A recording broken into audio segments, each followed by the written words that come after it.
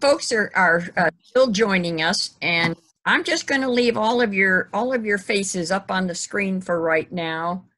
Rob is an author and a and a historian. We met Rob, uh, those of us with the Lehigh Valley American Revolution Roundtable.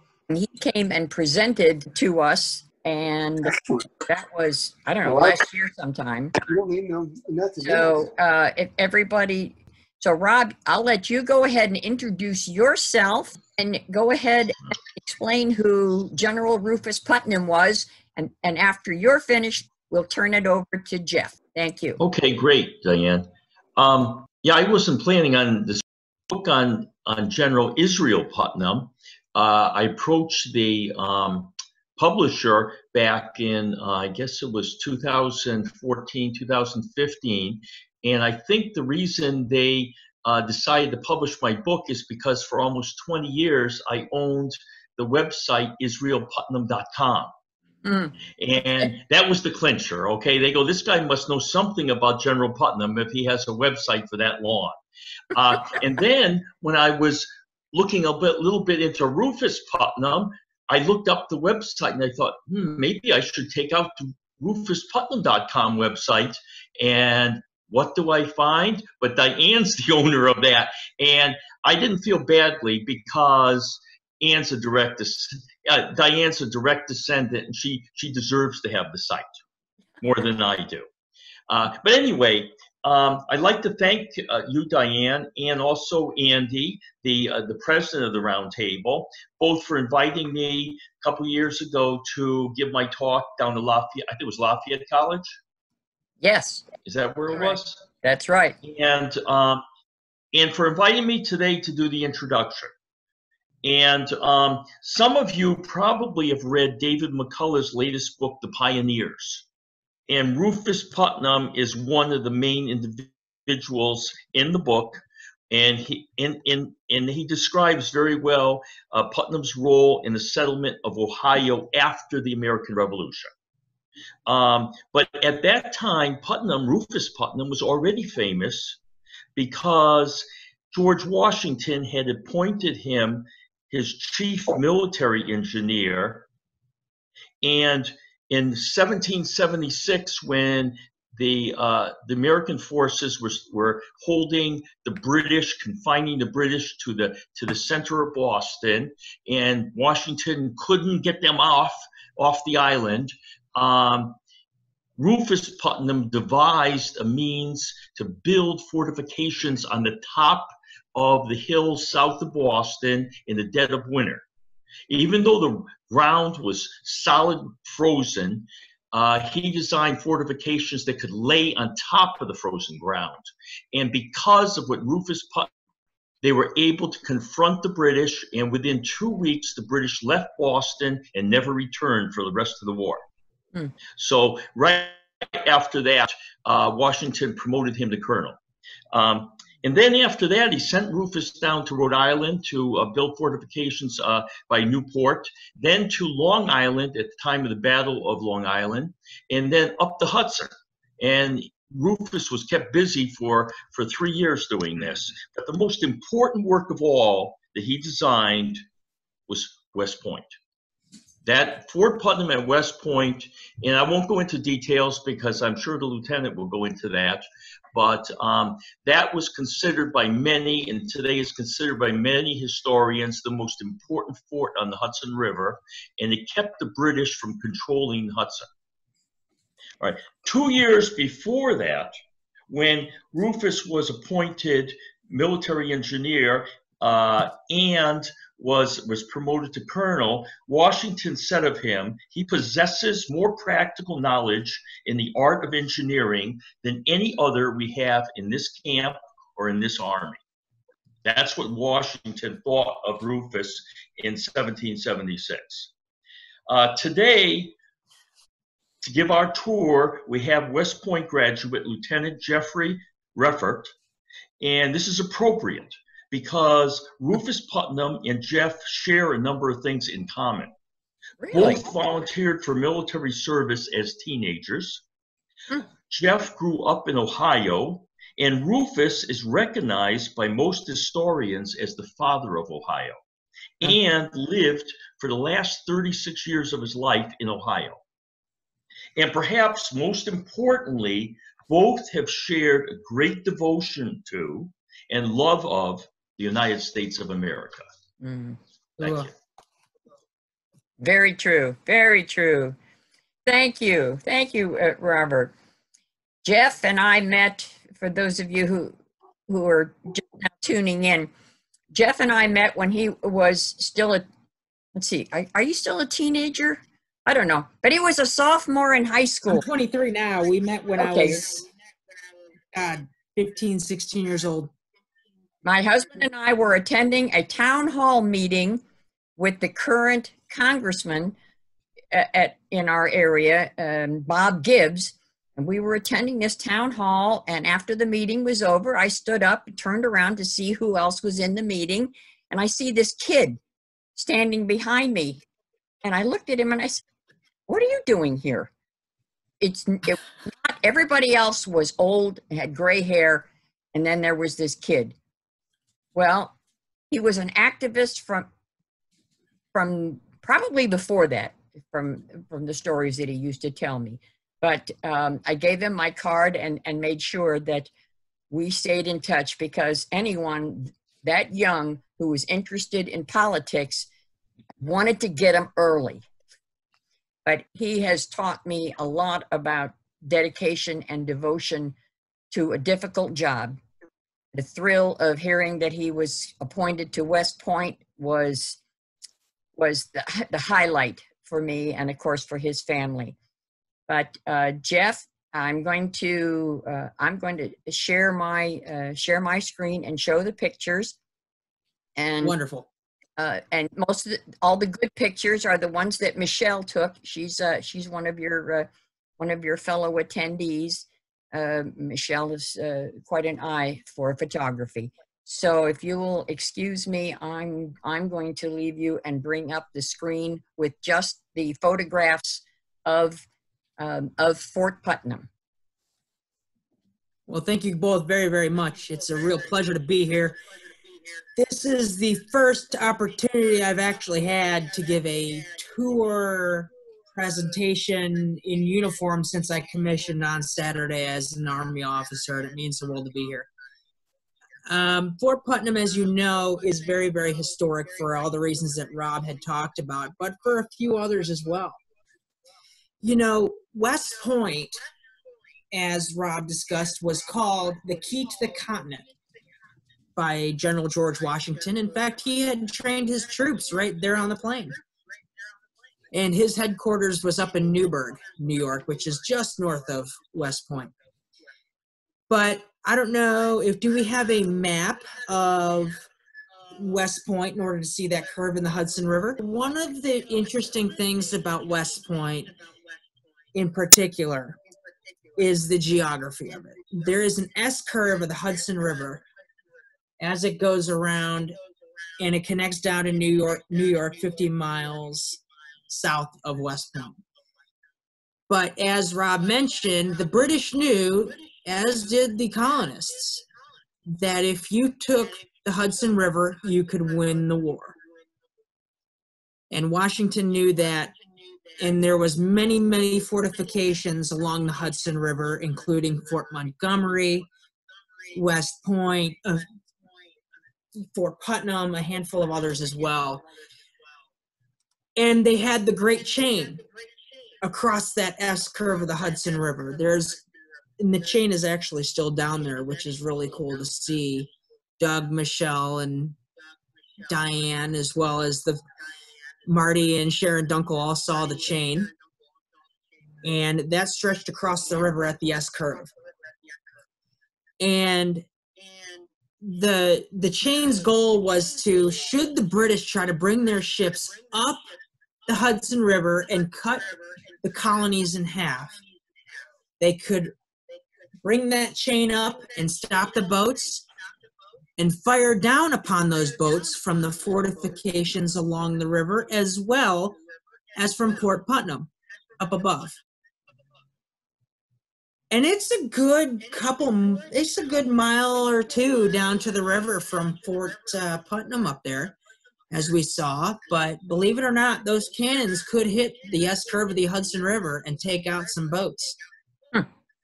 it was quite remarkable and it's pretty high up there it overlooks everything at west point overlooks everything. You can see the S curve of the river. You can see the mess hall. You can see our barracks. You can see the commandant's house.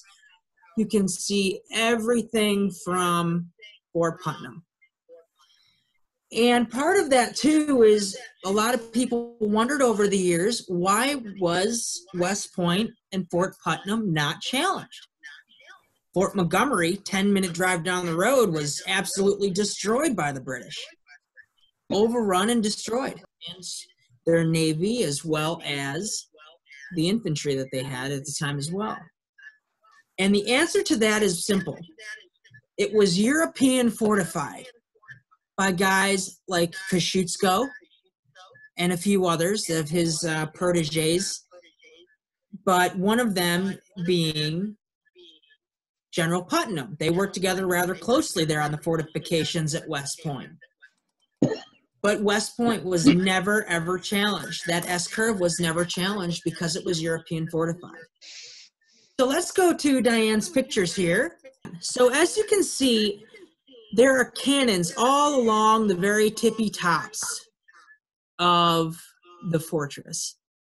And those those cannons were actually based on a drawing and those are recreated. The cannons themselves are they are the cannons. However, the wooden uh, pedestals that they are sitting on are, are remade from donations by West Point graduates over many many years. Mm. So the cannon and mortars were placed according to drawings by Lieutenant Louis Alexandre Berthier, rather familiar name. A revolu- he's a Revolutionary War topographical engineer and they replaced those cannons based on his drawings.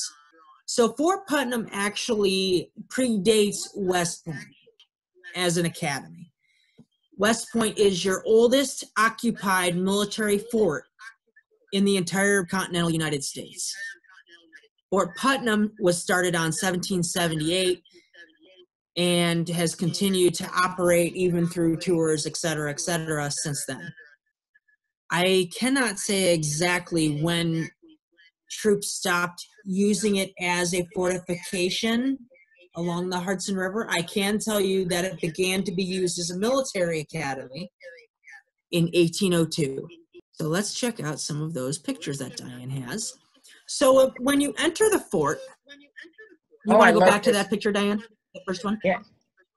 I- There you go. I don't have a I don't have a picture of you with the big key. They had to give Jeff the key Well, to actually. oh, the key was unbelievably big. It was Yeah. very gothic looking. But what was so funny is the actual key to get into the fort was a regular key that was attached to it that looked like a car key.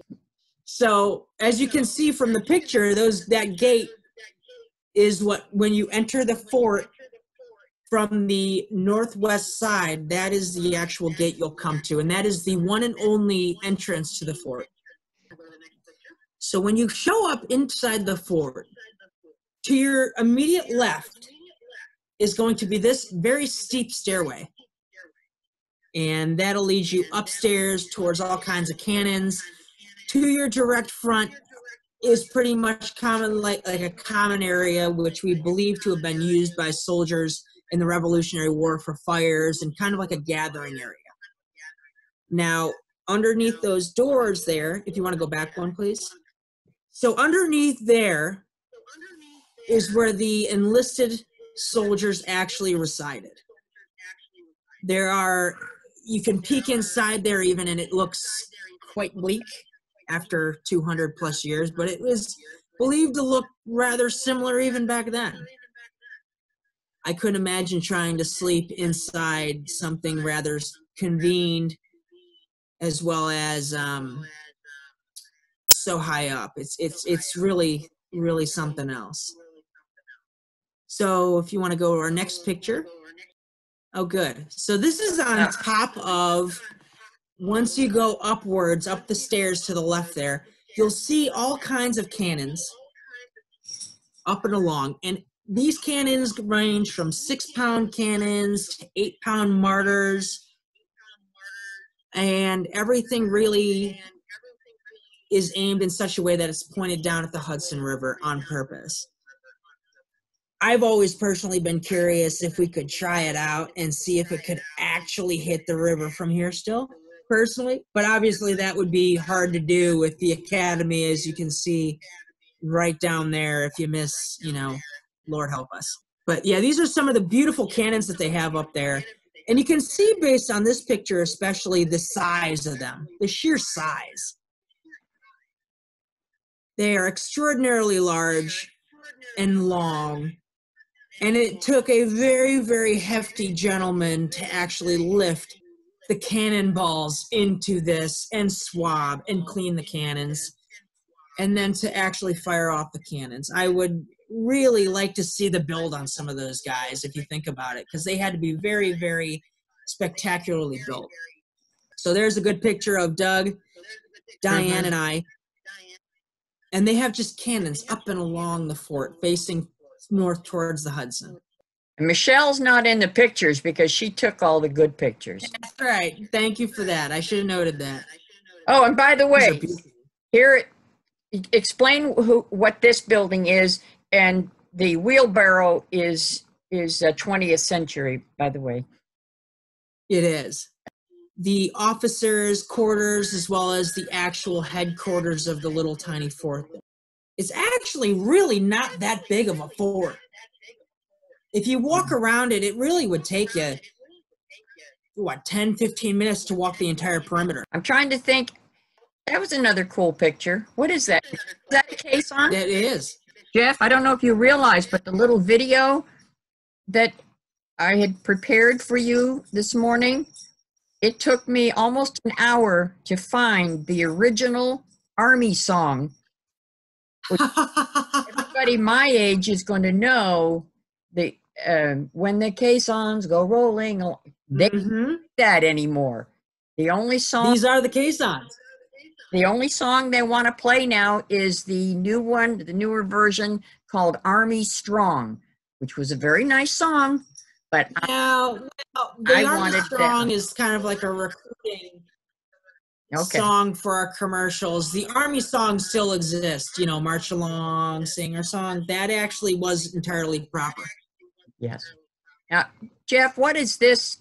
What is this particular cannon? Why is it? And what is it saying on it? Uh, can Can you read? So what's kind of interesting about this cannon is that it looks as if as it, if there's a crown on there, right? yes. Well, that was actually one of George III's cannons from the Revolution that the Revolutionary War's troops at Fort Putnam Nice. repurposed and managed to use against them, Very good. which is really cool. Very good. We actually have a lot of those cannons down by Trophy Point from every American conflict all the way back to the Revolutionary War. So you're talking the Revolution, the eight, the War of 1812, the Civil War, the Spanish American War, you name it. And we have captured cannons that the U.S. has collected as war trophies down there close to the river by the Hudson. Does anyone have any questions for Jeff? Oh, I was just gonna say, Jeff, tell them about those, you know, the first and last cannon. Oh, okay. So we actually have, if you come out of the library, underneath where Fort uh, Putnam comes out, on the side of Bartlett Hall, where I took all of my science classes, that building still gives me chills because I, I hated science and math. Um, they have the first cannon shot in the Civil War at shot at Fort Sumter, and the last cannon fired in the Civil War shot at Appomattox. Hmm. And it's right there on the side of the building. Okay. I, I just want to point out didn't- one other thing. When you're, uh, when you see the stairways, they're all curved going up to the right. That's because that's the only way you can't draw your sword and hack away at people if the stair is curving to the right. You can That's only right. push the sword if you're going downstairs. Wow. That's right. They closed the fort to the public a number of years ago. And believe it or not, it was because the tour guides retired. And I don't know if you guys will ever have a chance or if you've already been there. But the other part of the tour that Jeff gave us was, of course, West Point. I was bowled over by not just the history, but it's one of the most beautiful um, museums. I I challenge any any museum in the country to to have the same audiovisual displays that West Point does. It was absolutely stunning. So if you ever have a chance, you can hook up with with a cadet. Find you know find a way to meet. I, I know a lot of people at West Point as well who would be happy to give any tour to any one of you it was just that still remarkable. there. All right, so I'm finished with my chatter. Uh, who else would like to ask a question? Oh, uh, Mary Jo. He- She is a Putnam descendant. Go ahead. Yeah, I didn't hear the very beginning. So, what year exactly was Fort Putnam built? It was 1778. How Was close is it? No, just how close is it to Fort to um, West Point? Is it really right there? It overlooks everything. I mean, you can see it, especially in the winter. I can look up at any point and see it right above the chapel. I would say it's probably, gosh, 800 to 1,000 meters if you took a direct shot. But of course, it's up way up on that mountain. Okay, I'd love to come and see it someday, but I don't know if I'll ever get there. Well, I'll pray for that. Okay. Anybody else have any questions for Jeff? And let's see. Did Rob? I don't know. I guess Rob may have Rob may have hung up. But um, if it weren't, No. are you still? Oh, there you are, Rob. Oh, yeah. I just put it on mute. I guess you couldn't Oh. find it then. Um, That's right. if it hadn't been for raise your hand if you're if you're a member of the lehigh valley american revolution roundtable okay there's a, a couple of us. If it hadn't been for joining that group when i first moved here to uh, pennsylvania i was born and raised in ohio but um, moved here to pennsylvania and there was an advertisement for a, a, a meeting about uh, history. And i thought oh well i don't know anything so maybe i'll go. And i've been a member ever since but it was through that association and if you have one in your area i highly encourage people to join. They're um, knowledgeable a knowledgeable group of people you are. I'm sorry our president uh, wasn't able to get on the line. He he was going to be uh, with his mom today and i think he's probably still there. But um it's um it does us good to to go back look at who actually helped bring the country together rescue it from king george and it, some of the rob was rob's book on um, israel putnam highly recommend that doug Doug's crazy about it. But other authors have talked about what women did during the American Revolution. Um, it- you know, I, I sat there at most of these meetings just dumbfounded at, uh, at everything I didn't know.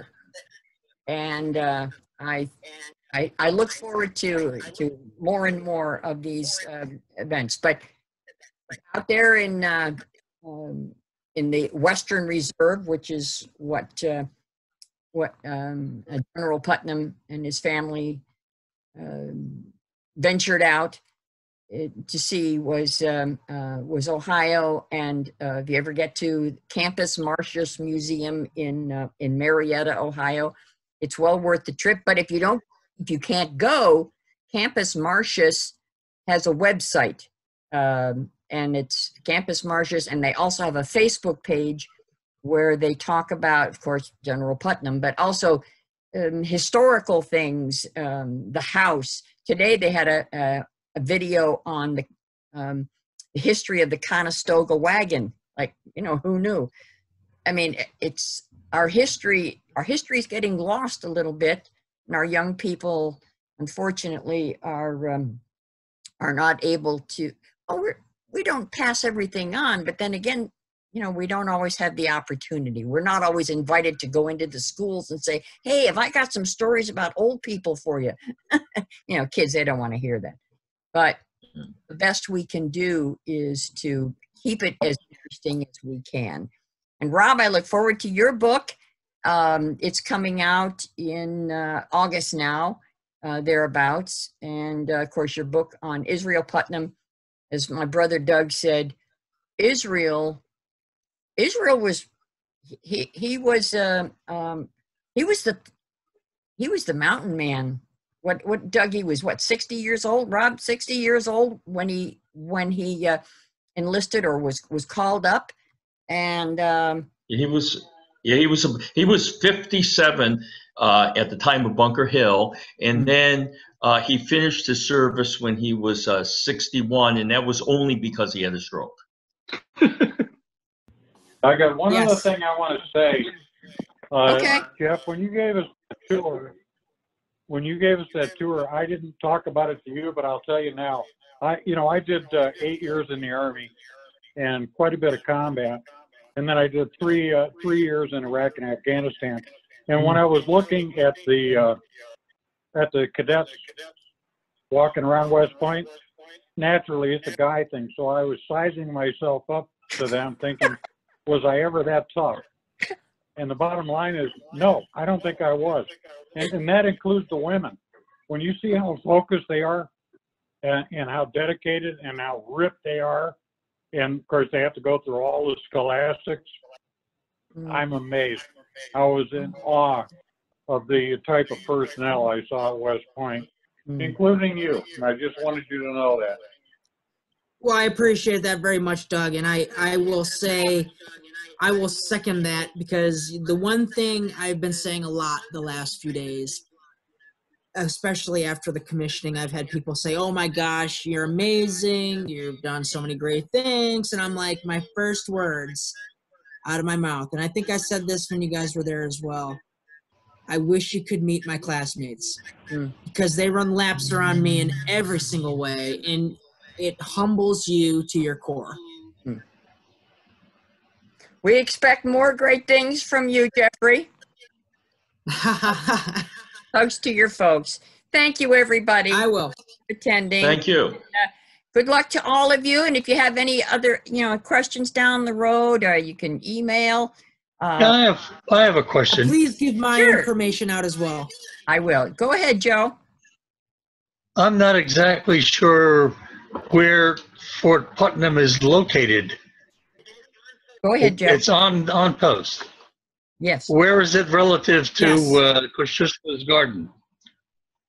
Which? Oh, I love Kay's Garden. It's literally a direct shot.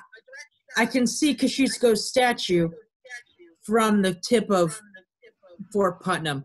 You can literally it's it's the furthest point on the other side of the of uh, a post. I smoke most of my cigars with my friends down at Kosciuszko's Garden. Okay, Great memories there.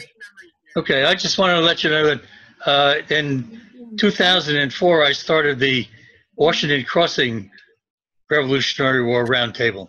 Did you? Really? So you know Bridget? Yes. Oh, she's been to a couple of our meetings. Great. Have you been to one of our meetings? I have not. Okay. Well- I'd say I live in the middle of, I live near Princeton. Okay. and uh, it's a, it's about an hour, hour and a half up to up to the Sure. college. Well, if you have a meeting, invite us. We'll we we'll travel. Okay. Please, please do. You're not that far away. Now, Kosciuszko- Sorry, Uh, sorry that we lost the David Library to Philadelphia, but uh, Yeah, me too. you sharing that. Thank you for sharing that, Joseph. Appreciate it. now, Okay. Kosciuszko's Garden has a lot of special memories. Um, every Friday, I would go down there and call home for the first time every week religiously. And the one of my most special memories is when I actually got to take the president of Poland, President Duda, down there to see Kosciuszko's statue as well as the garden and the fountain that's over 200 years old. That's one other piece of West Point that hasn't changed. But the look on the president's face when I tr- I explained to him again, and he knew this. The Kosciuszko contributions to West Point. He made that fort impenetrable, quote unquote, to the British simply because of his involvement. Like I said, it was European fortified.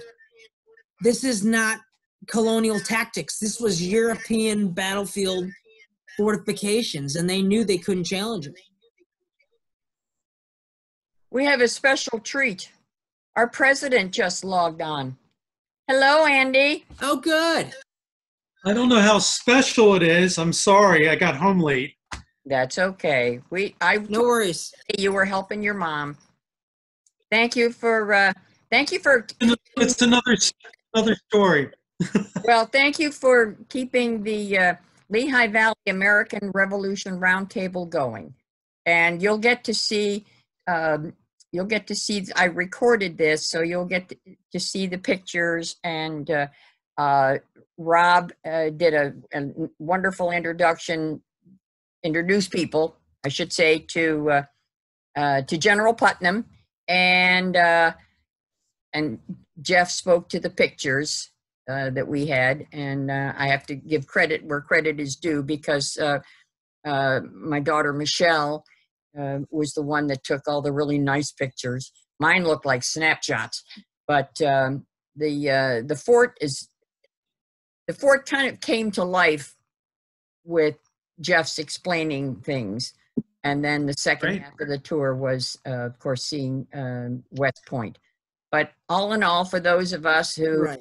Who didn't re- really didn't know much about uh, uh, West Point, I I didn't know much about West Point except it had uh, Army guys, you know, and it Navy now and again. So it was um, it was very moving, and we we have a lot to be proud of in, in our military and those and those graduates of West. Great. Uh, we we worked we watched Jeff go through hell for four years. You really did.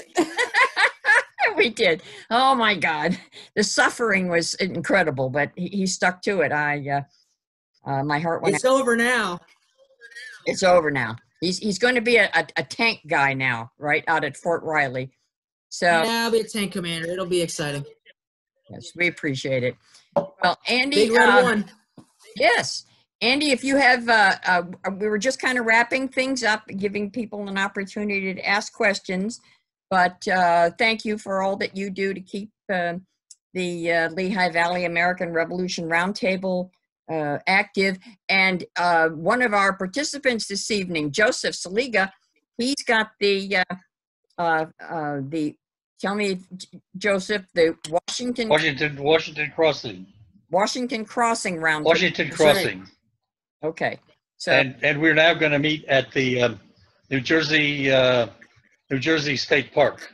That's where our meetings are going to be from now on. Okay, so we'll, we'll be invited as, as long as you send us an email. And Thank Yeah. you. Thank Good. you, everyone, for attending, and uh, we really appreciate it. And I'll make sure that uh, you're able to keep, uh, uh, keep in touch with Jeff. He's, he does, if you do Facebook, he likes to do, and I know Martin, uh, um, you guys, you do, um, and Sharon, you do Facebook Lives with him. He, I do. yeah. So you see him with his cigar and, and he's just sharing and, you know, hey, how's it going?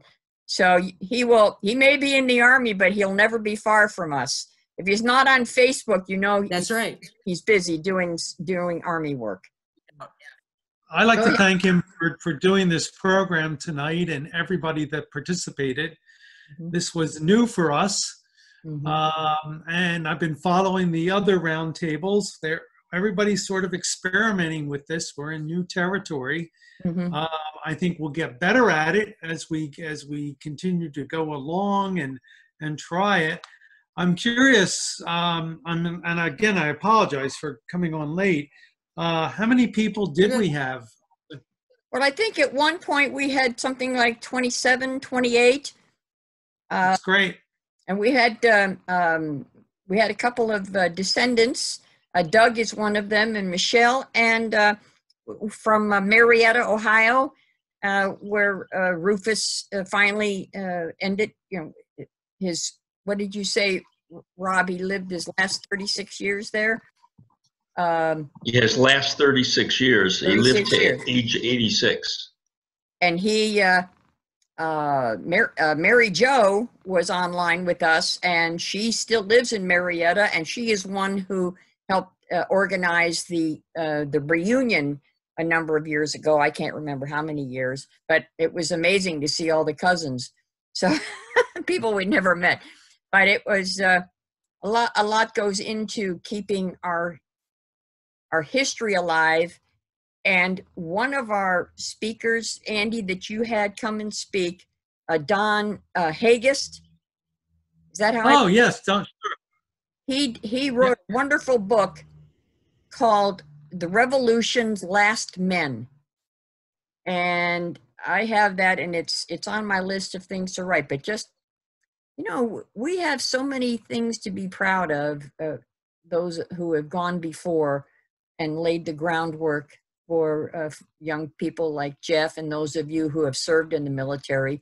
Um, I'm just a military appreciator. Never served. I'm just always in awe Yeah, of you. I mean, especially Sure. after Saturday. I mean, I just Oh. commissioned. He was commissioned. He was standing in his garage. He was standing in his garage, and his mother Well, was my dining room. pinned on pinned on his bars, and he was commissioned via the internet. Commissioning with the commandant, Mm-hmm. And it was. We actually will have the full video here shortly. Um, Melissa, who was my first salute, she Mhm. actually has this beautiful camera that we used for the recording using Martin and Sharon's tripod. Actually, I'll tell you what, there, there, there are very few times I've ever seen my parents cry. I can count them on one hand. Mm. And I'll tell you, there was nothing more difficult than getting through that oath, hearing my father sob behind me. it was it was breathtaking. Mm. And then of course around the room you have soldiers, I had Marines, I had enlisted personnel Mhm. and some of their families. And it was the most humbling thing in the world to look them in the eye and say, I am going to lead your son, your daughter, your husband, your wife, your girlfriend, your boyfriend, and you can count on me. Mhm. That is a very humbling moment. yeah. That struck a chord with me even now. Mm. Hey Rob or or Jeffrey, I'm not sure which. Was did Rufus have anything to do? There was a pretty um, ingenious way they came up with floating the chain when they needed to and stuff. That was Rufus involved in that in any way? That's a really great question. I'm going to have to look into that. I don't think he did. That was really Kosciuszko's baby. Yeah, not as much as you Um, think. He, you know, you're, I'm sure it's there was absolutely right. But Yeah, that, that, that was that Diane, that was the, that was the, uh, uh, time in, in the, uh, in Boston when, uh, Washington forced the British out of the city. And that's what he did with, with Rufus's fortifications on the hills south of Boston. Mm. Uh, and the cannon that, uh, General Knox took from Fort Ticonderoga and all that together forced the British off. And so that was what they saw, those hills south of Boston. And when they woke up in the morning, they could not believe that the Americans had created these fortifications overnight. for a man for a man who had um, what was it three weeks of three weeks of schooling um, along with many of his uh, uh, That's counterparts. right. um, they did a remarkable job with with the little that they had and uh, so and now we are doing remarkably well with the technology aren't we we're we're facing our fears we're using our getting there. on our cell phones whether it's even if it's killing us so we appreciate it Like I said, I'm more of a Microsoft Teams kind of guy. aha But Okay. Zoom, this is the first time I've used Zoom ever.